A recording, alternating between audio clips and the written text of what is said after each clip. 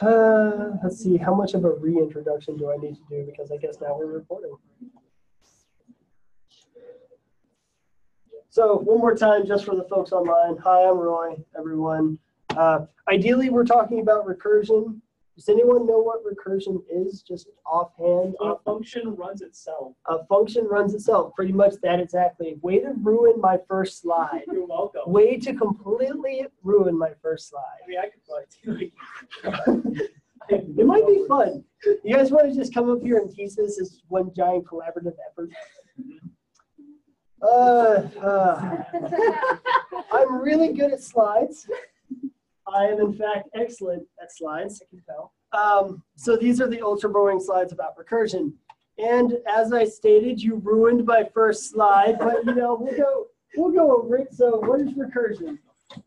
He ruined it. Uh, it's when a function effectively runs itself, but realistically, I'm going to tell you the same thing that Ken will tell you like half a million times if you haven't already heard it a billion times already. Don't be lazy, Google it.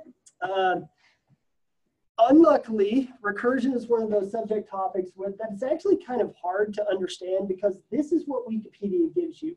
Most of the time, subjects like recursion and computer science usually get broken down pretty well in things like Wikipedia. You guys are welcome to read that, but recursion is way easier to understand if you're just willing to just kind of do it instead of, you know, try to understand that mess. Uh, there's tons of videos about it. Uh, it's a topic that I'm excited about because it's one of the few things that you can code in and then get results that you just don't expect. Uh, we'll, when we start messing with the tree, we'll show you, uh, as Jairus pointed out, it, this could be handled by, by modulusing it by 180, but that's no fun, Jairus. If it doesn't break, it's not real code. Uh, so like I said, it's a it's a topic I'm excited about because you you can get crazy stuff out of it. Uh, recursion, in and of itself, is pretty boring. It's very computer sciencey, but he's right. It can be effectively broken down to when code decides to run itself. Uh, the first thing I'm going to talk about is iterative versus recursive. Um, does anyone hazard a guess at what iterative versus recursive is? No, nobody, nobody wants to talk. Okay, so iterative is effectively when you're just kind of counting up, Iter iterating over something. You guys have all done that, I assume, at this point. When you go through a list and you talk about everything in the list, a for loop. If specifically, I'm guessing you guys are going through and talking about Python. Yes. You guys code in Python so far? Yes, this is Python class. I'm Well, hoping. JavaScript. Oh, well, Java. well, we're gonna have to change up that code real fast. I need to rewrite my slides. I can do that. Okay, so uh, iterative is when you're just going step by step effectively. Uh, one, two, three, on through the number line. If you're iterating through the set of real numbers, you would start at ideally one and then work your way up. You can do that in an example. For x in range five, you know, typical for loop. Have you guys have you guys used this? Yes. Yes. Yes. Okay, somebody else is answering. I have one more. One more. We'll add on as the night goes. So hopefully, the night. Oh, oh, this is the morning. This is weird. This is why. This That's is not why morning, it's it's it's worse. That's lunchtime. Everybody is a sleeper. Yeah, Uh, so, anyways, recursion can be broken down into several different uh, steps. Iterative, like I said, is just working your way down. Recursive is a little bit different. Uh, you have examples of primitive recursion, which is almost everything that we will do here because it's easy to understand. And once you understand what it's doing, it's you you can you can you can mentally look at it and be like, oh, okay, I understand. Uh, then you have things that are crazy, which are like it's it's called mu recursive, which is I'm sure some sort of math math term that somebody would probably stab me for doing wrong. But um, mu recursion is just that next level of complexity. You are you guys familiar with complexity? It's an order of magnitude, man. It is indeed uh, p versus np versus uh, uh, what what is the other one? np No FP versus MP. uh, np versus what's the last one though? There's two. Oh, whatever. Okay.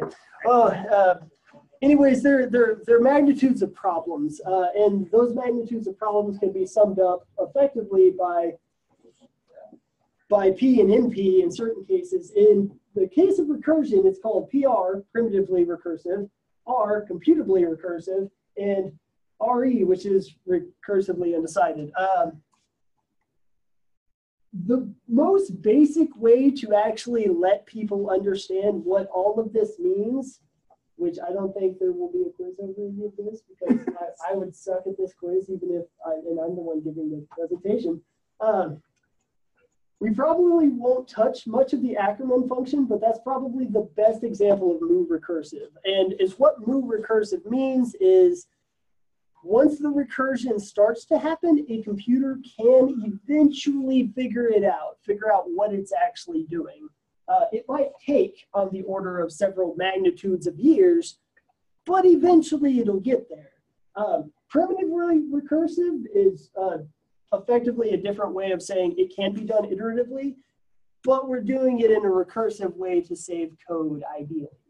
Uh, recursively undecidable, uh, on the other hand, is something that is so incredibly recursive in nature that you literally cannot get to the end of it. Most of the time, mathematically, a lot of these things have properties that can be decided, but there's a lot of things that it's not going to be able to tell you about it. Like if I gave you a an even number, and I said that you're always going to add two or four to it, but I didn't give you an end result to work towards. You could tell me at the end that it's still going to be an even number because all you added to it were, well, even numbers. But with just that information, you can't give me an answer. It could be 2,000, it could be 2 million. It, it, it, you can't actually find that answer. You can still tell me something about it, but not what it is that's the basic breakdown. Uh, recursion gets very, very deep, very, very fast, and it turns into a numbers problem, which is part of why we have to break into this. We're only going to touch primitive though, because we don't want this. We just don't. Okay, so Fibonacci sequence. does If you anyone? solve that problem, you'll get a million dollars though from the Millennium Prizes. The P versus NP problem is a million dollar prize. So you can figure it out. And if you solve P versus NP, then you basically break current day encryptions because Yeah. uh, current encryption is based on the idea that you have to compute a bunch of numbers to get the end result. Whereas um, It works you well can- one direction, but Yeah. uh, screws up the other direction. it you can do uh, like two to the power of four pretty quickly. But if you have two to the power of something and you don't know what that is, but you know the end result, it'll take you a long time to figure out that it's two to the power of four. One-way functions Except you know the numbers are much bigger. So the, the one-way functions, but if you solve p versus np, then you can effectively reverse that uh, in the same amount of time that it took to do it. the first You should place. do semi-primes. Uh, no, No. Uh, not right now. Uh, so some recursive stuff that we're actually going to talk about. Uh, Fibonacci sequence. Anyone here a math nerd know what the Fibonacci sequence is? Or, or at very, or at very, le- yeah, at very least, a big CSI fan is like, oh, that one episode. No, no, there's no one in here that falls into that cat. There's one in every class. Don't lie to me. Uh, factorials. Do you guys know what factorials are? Math nerds, please. I don't Is there exactly know what they are, but I know I've They- about them. they become important later on in crypto. Uh, you'll start dealing with them a little bit more. Not so much the Fibonacci sequence, unless you're doing some sort of fancy elliptical curve. Probably not. You want to Uh, know factorials are? Um, The one no. the- We'll, the we'll get there. small pebbles. Oh, okay, it's later. I- yeah. Okay. Um, We'll- we'll- I'm pretty sure. Well, yeah, but this one's ended on I don't so. We're, we're probably not going to get past this. be what you're saying. Then we'll actually break into Yeah, something so- that isn't quite as boring, uh, and, and actually An example of visualizing some things that recursion can do because that's actually the fun part. Uh, recursive trees. You guys have messed with turtle a, a lot, a little bit, maybe once, once. We did once accidentally. Yeah, I don't think Ken really does turtle. Uh, turtle is like the most fun that you can have in programming, period. I It know. visualizes a bunch of programming things you can do. And it's so much fun though. Because I mean, you can make anything. programming is mostly instruction based, and with Turtle, you have a turtle, and you tell it to go straight for this amount, and then turn, and then go there. It's Make instruction based. this time. Teaches you program. It's it's true. It's uh the trees will be fun because like I said, it's something that you can actually look at. Um, I don't know if we'll go over deep enough to actually draw your own trees, but I mean, I don't honestly, I don't know why we could. Uh, it's like a stick in the ground could be a tree at that point. Uh, fractals. Anyone know what a fractal is? Again, I've talked about it, but I don't remember. Okay, so a fractal is uh, effectively the uh, the end result of the coastline paradox. Uh, Ah, yeah, you yeah, see, yeah. see, see, there you go. Now you get to learn something. Um, you guys want to learn what the coastline paradox is? There's YouTube videos. Anyways, a fractal is effectively a thing that you can uh, you can keep zooming in on forever, ever and ever and ever and ever and ever. The end result is uh, is a mathematical function that effectively makes a graphic that repeats itself in an indefinite fashion. Uh, so the closer you zoom in, the more detail it gets forever. Uh, you can never visualize the whole thing, obviously, because it is effectively recursively decided. Once the once the actual picture gets so small, you can only focus on so much. Uh, these are some things that we might talk about. Not really. Uh, the coast triangle, the Ackermann function, which we will not code, but we might touch on, uh, and the towers of Hanoi. Anyone knows the little the little game? Okay, so we do have some game nerds. Thank you. Uh, so first thing we're going to talk about Fibonacci sequence. Uh, it's called the golden ratio. It's significant. A lot of math or science or something. I, honestly, I'm not entirely sure. I just I just know that it exists and I know that it can be recursively derived. Uh, that's, that's really it. So the thing with the Fibonacci sequence is you start off with one and zero. Zero and one to be Yeah, more precise. Don't know if I should like draw this out. so Well, the people problem is that understand. people online won't see what you're drawing. Oh, this is true. Well, They I can mean, see they right kind there. of can. Go ahead. We'll try. Do it. We'll try do it. Thanks, Jairus. If you Uh, can get the cap off the mark. Just open Microsoft Paint. Man, this is gonna be the best video of the year. I know. it's gonna be bad. Uh, so you start with zero and one, and then you add the numbers that are behind it. So you start with zero and one, and you don't have to be a genius. With what is the next one. number? One, And again, two, and again. three, four, five. Four. Four is gonna be the. Four, five, six, seven. It's not a number in there. So, so now you're just adding these, so Can't on and on and on and on into infinitum. Uh, it, it gives you the, right there, I mean, does everyone understand how that is derived? There's a lot of interesting things that you can do with the Fibonacci sequence. Realistically, the only thing we're gonna care about here is coding it, Yeah. uh, because it is a recursive set. Uh, which, which, which brings us into the actual code part. Uh, this is the part that everyone hates or loves. Well, It Depends, really. Kill yourself, Jared. Anyways, uh, yeah, everybody online heard that. Once you- Yeah. Ken's gonna have to edit that just because of you. All your fault. Uh, uh, da, da, da, da. You didn't have it already pulled? No, I'm not prepared. What's wrong with you? Oh, yeah.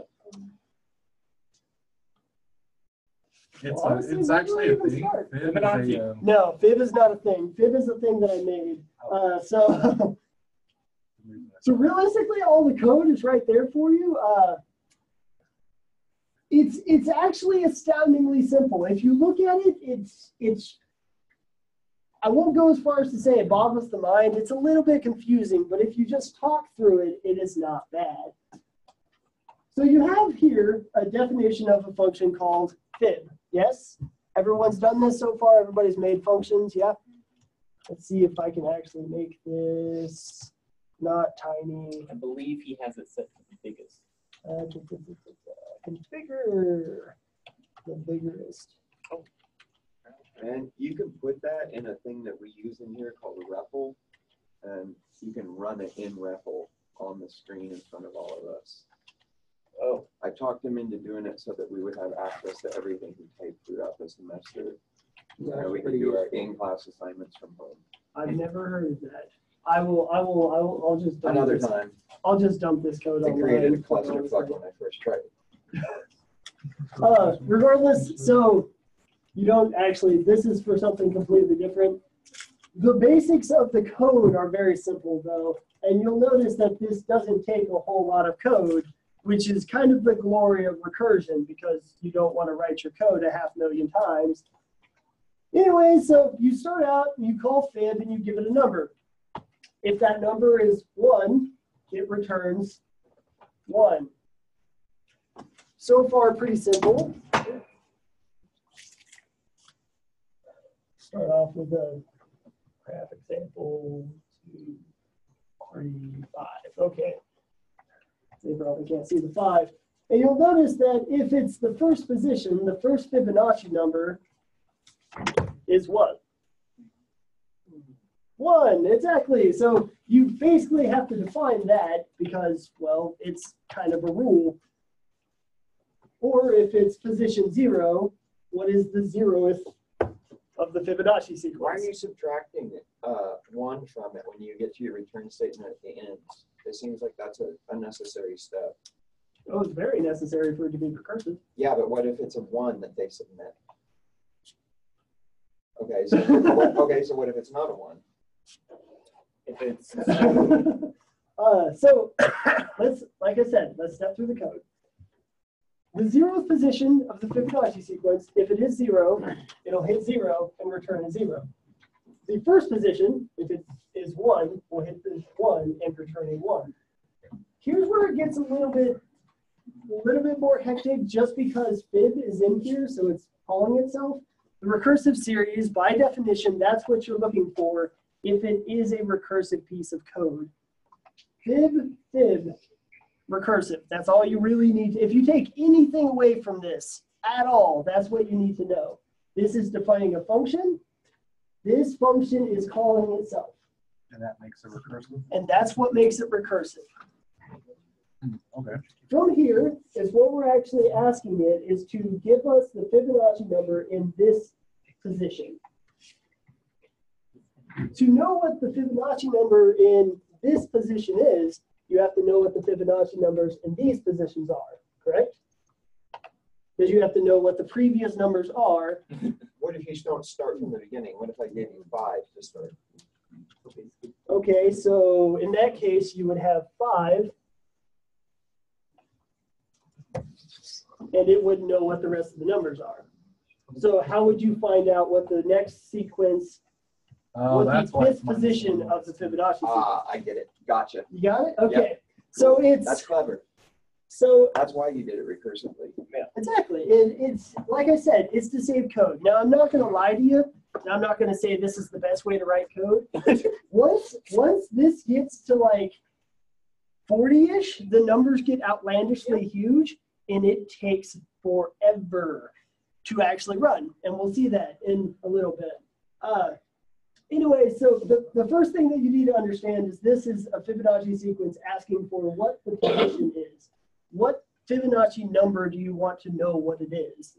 So if you wanted to say no, the zero, one, two, three, four, ah, convenient. The fifth Fibonacci number, anyone offhand?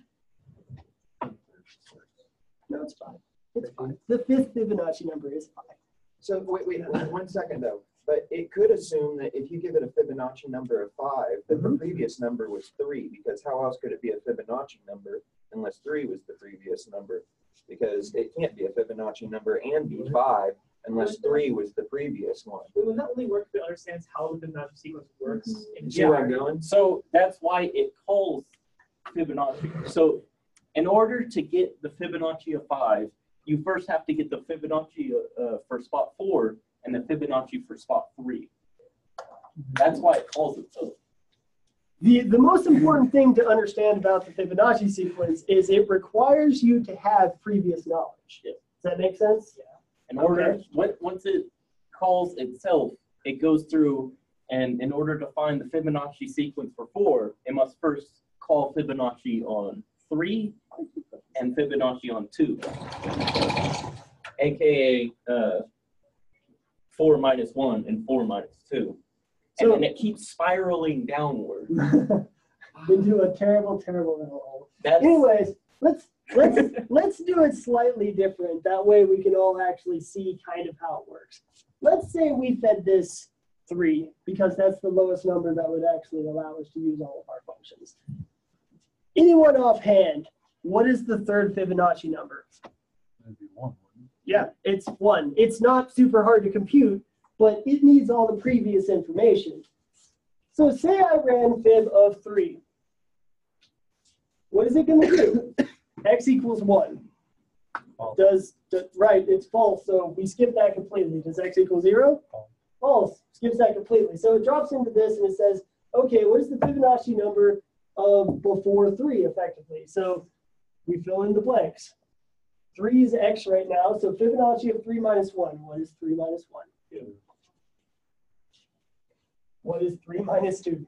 One, one. One. Effectively is what it's doing is it's saying, so for me to find the Fibonacci number in the third position, I first need the Fibonacci number in the second position and the Fibonacci number in the first position. That make sense? Oh, the X is the position, not the, not the number. There you go. Ah, There okay. you go. Sorry, that should be more clear. X is a. is Fair a enough. vague- That's is a why that's vague why I say variable. let's step through the code. It Yeah, makes okay. it so much easier. why you comment. No, Now- just a. There, just a there, he has a point. yeah, and you didn't. For Well, this, for this, I have other things that are commented. The tree is commented astoundingly well. We'll go over that later. now two goes up here, and we run fib on. two. Right, now, now unfortunately, we have to effectively just take this whole code base and just put all of this in hibernation and say, okay, two. So now we'll do it in a different color, maybe. Now this is the second run, and it says, okay, so let's run this one, since this is the Fibonacci of two. So fib of two, is that one? Well, it'd be one plus zero. It would be one plus zero, so that, that's, that's, it's not one, it's not zero. So that means for it to find the Fibonacci number in part two, it would then have to go and find the Fibonacci. Of two minus one. Right, so two minus one and two minus two. Now, two minus one, is anyone a math nerd? Come on, what is two minus one? One. There's a blue marker there if you need it. right? This gets, this gets really confusing real fast, and I'm sorry. Uh, they're not easy to draw by definition, so. And two minus two, anyone? Anyone? Anyone? Okay, good job. We finally get to end our chain finally, and we get to say, okay, so two minus one is the Fibonacci sequence of two, and that's one. So we're gonna come up here and we're gonna say, okay, is one equal to one? Yeah. Yes, thank God, because we don't want to play this game anymore, and so it returns one, because we effectively know what the base Fibonacci number is, which is 0 and 1. It's the same sequence over and over and over again. You, okay. you, so the result of fib 2 is 1 plus 0. Right, because that is Fibonacci. that's the Fibonacci sequence, 1 and 0. Then we must step out again back to the, uh, the, the function for 3, fib 3, and, and finish the second one. you could easily adapt this so that you could feed it two arguments, position and the number, so that you would uh, find the next Fibonacci on the second mm-hmm. argument and mm-hmm. find the Fibonacci mm-hmm. on the. Well, we can make this. We can make this so much more efficient. Yeah, yeah. Oh, sure. We can make this so much more efficient. It's ridiculous. This is by definition what recursion is kind of supposed to do, though. Uh, mind, it's not super impressive in this specific case because it's literally having to rederive literally everything that it's doing literally more than once. But in this specific case, that's the easiest way just to get a baseline definition. This would deal with everything that would give you the definition for what a Fibonacci number is. It's an easy way to look at it and be like, oh, okay, this is recursive. Right. So imagine if x was 50. That's why this is so inefficient because for 50, it first has, has to figure out 48 and 49, which require you to figure out 46 and 47 and 47 What and happens when you feed this a huge number? It takes forever. Yes, it, It takes absolutely Okay, so what happens when you feed it a, a four-digit number? For 50, I think it takes a minute.